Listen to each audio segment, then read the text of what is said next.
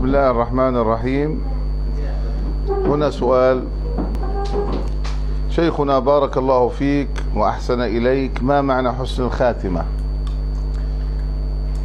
إخواني في الله حسن الخاتمة باختصار هو أن يكون أفضل أعمالك في الحياة الدنيا التي تتقرب بها إلى الله فعلتها في آخر حياتك. فبالتالي حسن الخاتمة يختلف من شخص إلى آخر. وهناك شيء اسمه علامات حسن الخاتمة أي أنه يموت على هيئة معينة. فمنهم من يتمنى أن يموت وهو يصلي. فهذه علامة حسن الخاتمة وهو يعتبر أنه هذا الحال أحسن الأحوال في الحياة الدنيا. الشيخ ابن عثيمين رحمه الله كان يتمنى أن يموت وهو يدرس الناس. فعندما أصيب بالمرض الخطير والشديد ودخل المستشفى وظهرت أمارات الموت عليه قال لي طلب عندكم؟ قال ما طلبك؟ قال أن أدرس في المسجد الحرام. وكانت الدنيا رمضان في العشر الأواخر. طب يا شيخ أنت محاط بالأجهزة؟ قال هذا طلبي. فاستجاب كادر الأطباء للشيخ ابن عثيمين ونقلوا أجهزة العلاج مع الشيخ إلى المسجد الحرام. والشيخ ما كاد يبتدئ التدريس حتى بكى الجميع.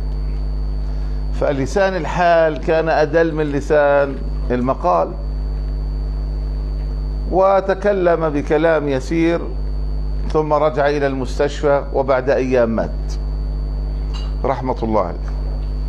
فبالتالي انظر كيف تريد حسن الخاتمة. ما هي الأعمال التي تتقرب بها إلى الله وتكون هي أحب الأعمال إلى الله وتكون هي آخر حياتك؟ وبعض الناس يعكس. يا جماعة بعض الناس يعكس.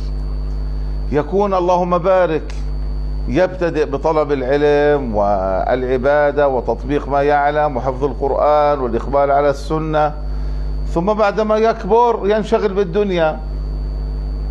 يقول مثلا أريد أن أجمع مالا لأولادي أريد أن أدرس أولادي. إيه إيه إيه. هذه أولادك أهلكوك. قابلني أحدهم وقد تجاوز السبعين. وعلمت أنه ورث مئة ألف دينار أردني. وكانت تظهر علي علامات الصلاح. أو قارب السبعين فقال فقلت له والله خير لك بهذه المئة ألف أن تبني مسجدا. قالت أولادي. أولادك هذا يعمل وذاك عنده شقة وذاك عندك بيت خلاص. قال أولادي أولادك إيش أولادك؟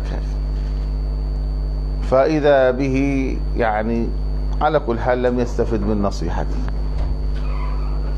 فبالتالي فكر في أرجى عمل تعمله في آخر حياتك. هذه حسن الخاتم. كلام طويل جدا.